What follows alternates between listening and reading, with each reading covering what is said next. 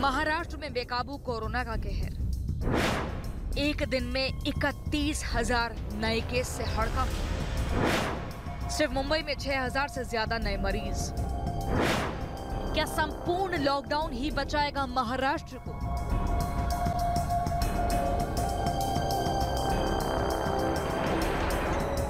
Corona के कहर से महाराष्ट्र का दम फूलने लगा है। पूरे राज्य में कोरोना की बढ़ती रफ्तार सरकार के लिए सबसे बड़ी चुनौती बनती जा रही है। पूरे देश में कोरोना के जितने नए केस सामने आ रहे हैं, उनमें से एक बड़ा हिस्सा सिर्फ़ महाराष्ट्र का ही है। सोमवार को पूरे देश में कोरोना के अड़सठ हज़ार से ज़्यादा नए केस सामने आए। इनमें से करीब इकतीस हज़ार छह सौ तैतालीस केस सिर्फ़ महाराष्ट्र के थे। 24 घंटे में राज्य में 102 लोगों ने जान गंवा दी। सोमवार को मुंबई में पाँच हज़ार आठ सौ नब्बे नए मरीज़ सामने आए। मुंबई में कोरोना की वजह से 12 लोगों की मौत हो गई। रविवार को महाराष्ट्र में चालीस हज़ार से ज़्यादा नए मरीज़ सामने आए थे।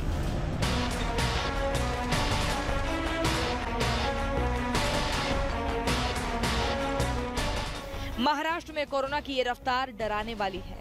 हालात इस कदर खराब हो चुके हैं कि रविवार रात से पूरे राज्य में नाइट कर्फ्यू लगा दिया गया है। कोरोना की रफ्तार देखकर राज्य सरकार के माथे पर शिकन आ गई है। डर इस बात का है कि अगर कोरोना का कहर इसी रफ्तार से जारी रहा तो राज्य में स्वास्थ्य सुविधाएँ मुहैया कराना एक बड़ी चुनौती बन जाएगी।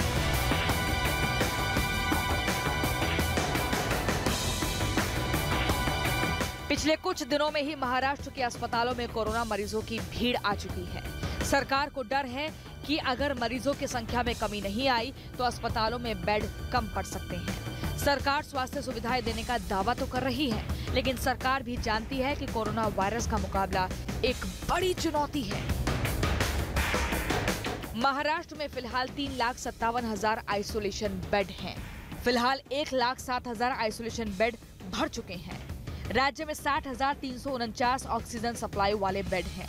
इनमें से बारह हज़ार सात सौ एक बेड भर चुके हैं। आंकड़े गवाही दे रहे हैं कि महाराष्ट्र में कोरोना की वापसी की कहानी पिछली बार से भी ज़्यादा खौफनाक होती जा रही है। सीएम उद्धव की बार बार की चेतावनी के बावजूद महाराष्ट्र में ना तो सड़कों बाजारों से भीड़भाड़ कम हुई और न ही कोरोना की बेतहाशा रफ्तार। हालात बेकाबू होते देख उद्धव ने 28 मार्च को कोविड टास्क की बैठक बुलाई। स्वास्थ्य मंत्री, मुख्य सचिव और एक्सपर्ट्स के साथ हुए मंथन में यही निष्कर्ष निकला है कि महाराष्ट्र में लॉकडाउन के अलावा और कोई चारा नहीं बचा। सीएम उद्धव ठाकरे ने अधिकारियों से लॉकडाउन की रूपरेखा तैयार करने को कहा है। अभी ये तय नहीं है कि लॉकडाउन कब से लगना है।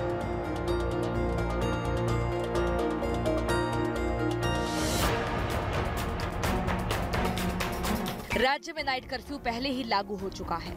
तभी इस बात का अंदेशा होने लगा था कि लॉकडाउन की वापसी तय है। मुंबई के तमाम इलाकों में रविवार रात को पसरा सन्नाटा करीब नौ महीने पहले के उस खौफनाक मंजर की याद दिलाने लगा, जब पूरा देश घरों के अंदर कैद था। ये तो तय है कि महाराष्ट्र एक बार फिर बेड़ियों में कैद होने जा रहा है। तगड़े झटके झेलने के बाद अर्थव्यवस्था को पटरी पर आने से पहले ही फिर से और करारे झटके लगने वाले हैं। अगर लोगों ने पिछले लॉकडाउन से कुछ सबक लिया होता तो शायद ये नौबत ना आती। महाराष्ट्र का दूसरा लॉकडाउन उद्धव सरकार की भी बड़ी परीक्षा होगी।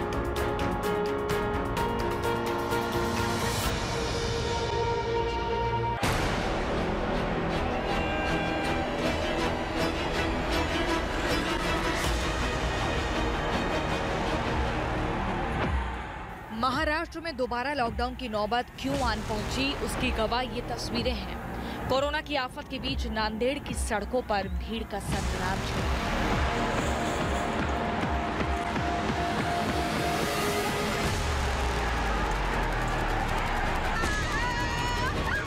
एक तरफ़ पुलिस के चंद जवान हैं तो दूसरी तरफ़ हज़ारों की भीड़ और सबके हाथों में लहराती तलवारें।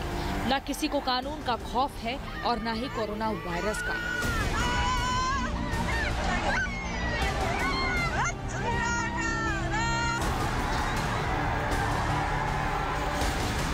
नांदेड़ की ये तस्वीरें होली के दिन की हैं। नांदेड़ में 25 मार्च से लॉकडाउन लागू है। लॉकडाउन के चलते सभी कार्यक्रमों पर प्रतिबंध लगा है।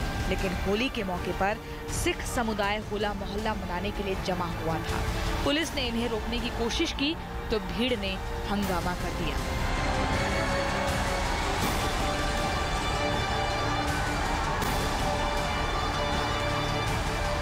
गुरुद्वारे के बाहर मेन गेट का ये मंजर देखिए। बैरिकेडिंग के ज़रिए पुलिस ने भीड़ को अंदर रोक कर रखा है। लेकिन भीड़ के एक धक्के में लोहे की बैरिकेडिंग गत्ते की तरह ढह गई और सड़कों पर हुड़दंगियों का सैलाब उमड़ पड़ा।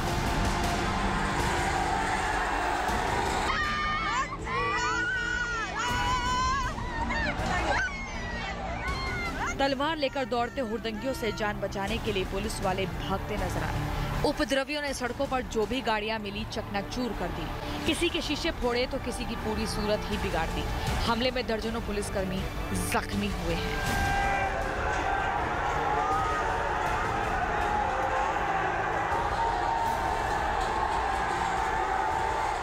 चारशे मुलं. हल्लाबोलच्या तयारीने गेट तोडून बाहेर आणि पारंपरिक मार्गाने त्यांनी हल्लाबोल केलेला आहे. यामध्ये चार कर्मचारी जखमी झालेले शासकीय वाहनांचं नुकसान अ, आम्ही आता गुन्हा दाखल ये हाल तब है, जब महाराष्ट्र में कोरोना संक्रमण बुरी तरह से फैल रहा है। दोबारा लॉकडाउन लगाने की नौबत आ गई है। लेकिन लोग कुछ मानने और समझने की बजाय खुद अपनी ही जान से खेल रहे हैं। कोरोना से मुकाबला करने के लिए महाराष्ट्र सरकार ने पूरे राज्य में नाइट कर्फ्यू लगाने का ऐलान किया है। लेकिन दिन की लापरवाहियाँ नाइट कर्फ्यू पर हावी होती दिख रही हैं।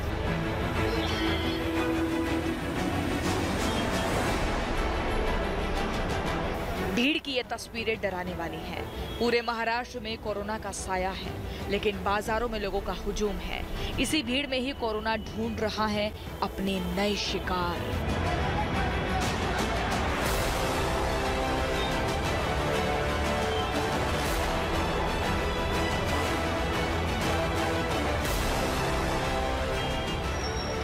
दादर की ये तस्वीरें महाराष्ट्र में लापरवाहियों की गवाही दे रही हैं।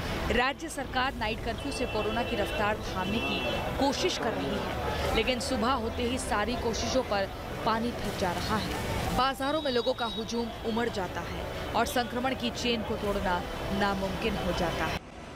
महाराष्ट्र में कोरोना की बेकाबू रफ्तार को देखते हुए संपूर्ण लॉकडाउन पर विचार हो रहा है, लेकिन हैरानी की बात यह है कि महामारी के इस कहर के बावजूद लोग हालात की गंभीरता नहीं समझ रहे हैं। अगर राज्य में लापरवाहियों का दौर इसी तरह जारी रहा तो कोरोना वायरस के खिलाफ जंग में महाराष्ट्र पिछड़ता चला जाएगा। नमस्कार, मैं हूँ अंशु शर्मा और हमें उम्मीद है कि आपको ये वीडियो ज़रूर पसंद आया होगा। ऐसे ही बाकी वीडियो देखने के लिए देखते रहिए द इंडियन समाचार और वीडियोस पसंद आने पर हमारे चैनल द इंडियन समाचार को लाइक, शेयर और सब्सक्राइब करना ना भूलें।